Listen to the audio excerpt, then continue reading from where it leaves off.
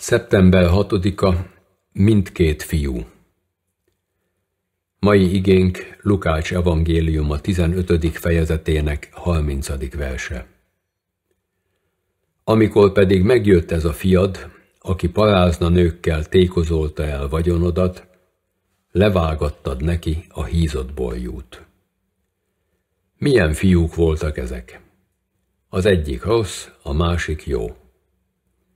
Ó, de felszínes gyakran a mi ítéletünk, és mennyire csak a látszat alapján mondunk véleményt. Jézus éppen azt szemlélteti itt, hogy a példás viselkedés olykor milyen gonosz szívet helyt. Elég egy váratlan lökés, amitől kiborul az ember szíve, és szörnyű dolgok gurulnak szét belőle. Ennek az idősebb fiúnak az jelentette ezt a lökést, hogy állt a vidám családi ünnep, amikor hazajött a munkából. Erre a bezzeg gyerekről azonnal kiderül, hogy ugyanolyan távol áll az apjától, mint a másik, ugyanúgy lázad ellene, szemben áll vele, ellensége. Az apjukhoz való viszonyukat és a szív minőségét tekintve nincs különbség a két fiú között. Jézus tanítása ez, Emberi megítélés szerint vannak jobb és gonoszabb emberek.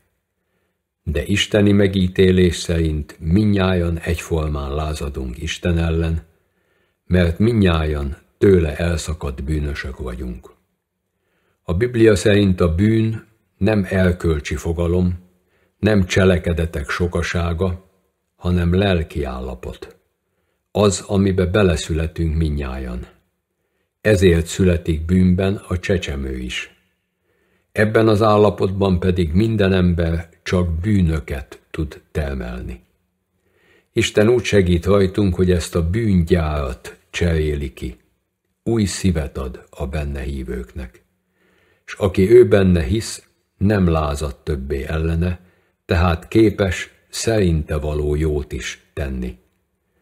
Egyébként pedig a jó emberek is elkárhoznak, mert nem az elkölcsi teljesítményeink, hanem az Istenhez való visszatérés alapján lehet üdvözülni. Akár két centiméterre van valakinek az orra a vízszintje alatt, akár egy méterre, ha ott marad, megfullad. De bármilyen mélyre is süllyedt valaki, Isten kegyelme ki tudja emelni. Aki nincs olyan mélyen, annak is erre a kegyelemre van szüksége. Hisszük-e ezt, és így keressük-e az atyához való visszatérést?